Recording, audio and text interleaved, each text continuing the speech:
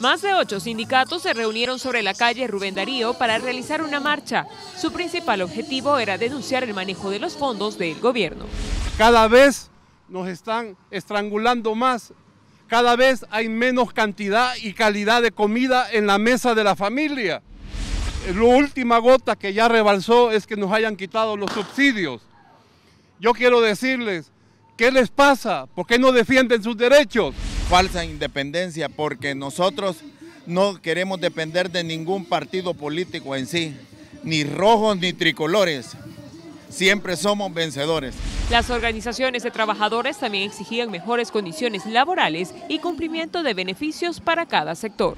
Exigiendo que se cumpla con el escalafón de salud, con el escalafón del Ministerio de Educación. Exigimos que vaya en el presupuesto 2017.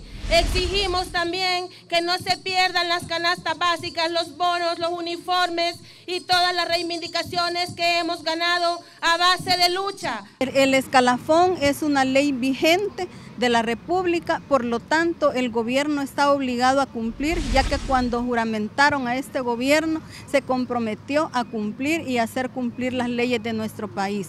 Por lo tanto, no pueden estar diciendo que la van a aplicar parcialmente o que la van a eliminar.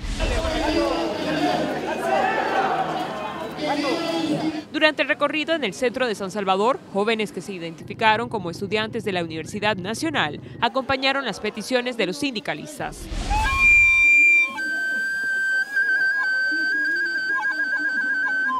Pero algunos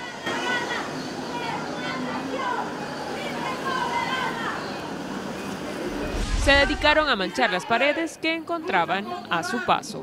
Para el noticiero, Angie Álvarez.